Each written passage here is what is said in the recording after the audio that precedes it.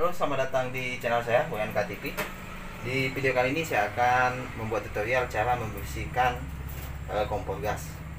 Ini maksudnya di sini saya akan bersihkan dari tempat eh, keluarnya api dari kompor gas ini, yang ini.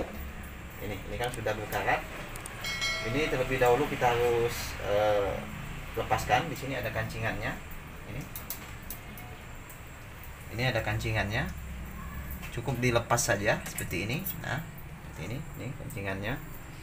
Kemudian dicabut ini untuk melepaskan. Dan ini dia ini sudah karatan sudah kotor sangat jorok sekali. Dan ini kalau tidak dibersihkan akan cepat rusak cepat keropos. Makanya kita bersihkan. Sama yang sebelah juga sama akan dilepaskan. Dan untuk membersihkannya kita gunakan ini. Karena ini sudah berkarat sudah berkerak kotorannya sudah sangat sangat kotor ini kita bersihkan dengan WPC ini untuk pembersih toilet. Biasanya juga bisa juga menggunakan pixel atau prostek ini. Untuk menghilangkan kotoran yang sudah bergerak seperti ini.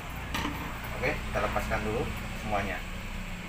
Dan ini kita kasih air masukkan ke dalam wadah seperti ini seperti ini. Kemudian isi air secukupnya sampai ini terendam semua. Dan ini udah sudah terendam nanti tinggal dibalik saja seperti ini biar dia kena semua. Kemudian campurkan pembersih toilet ini. Bisa WPC bisa pixel bisa prostek ya.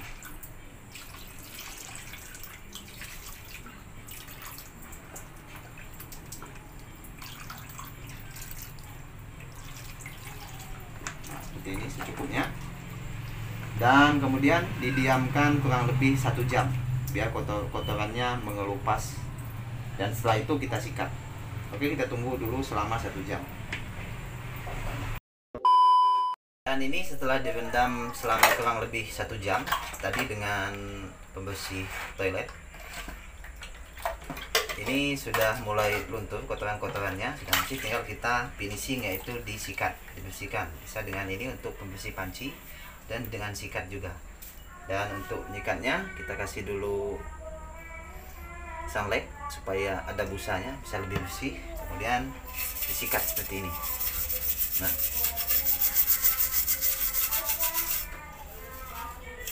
Apabila sudah direndam dia tidak terlalu butuh waktu lama untuk membersihkan. Karena kotorannya sudah terangkat. Seperti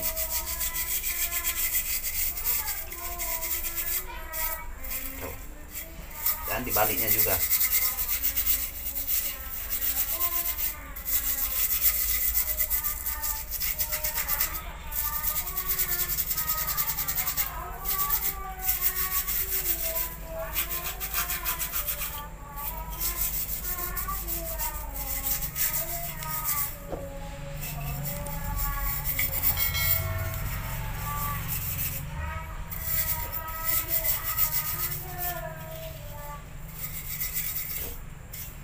nah ini.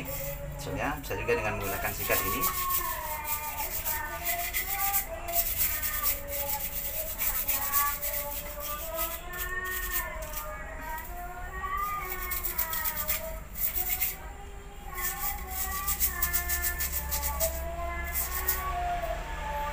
Oke dan inilah hasilnya. Sudah mulai kelihatan bersih.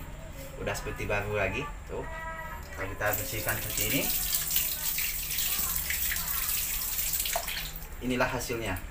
Kembali seperti baru. Oke. Dan tinggal satu lagi tinggal kita bersihkan.